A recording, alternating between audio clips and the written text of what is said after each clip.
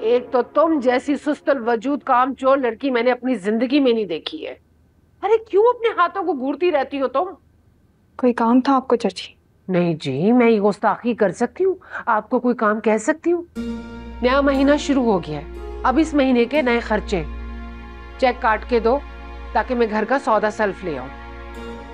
अब तुम ये कहोगी मैंने इतनी बड़ी अमाउंट का पहले चेक दिया था उसका क्या किया? अरे वो मैंने आग में झोंक दिया या उसका जहाज़ बना के हवा में उड़ा दी रकम। बीबी, महँगाई बहुत हो गई है। ये तो तुम मुझसे पूछो, घर का खर्चा मैं कैसे चला रही हूँ? तुम्हें क्या हुआ है?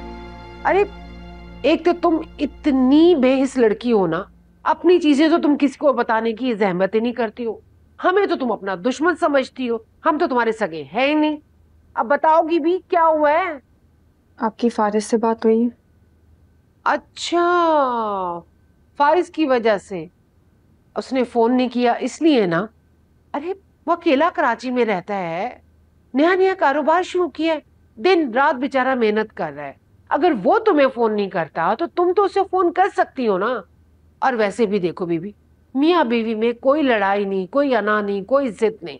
अगर तुम उसे फ़ोन कर लोगी तो कोई हर्ज नहीं है, वो भी खुश हो जाएगा।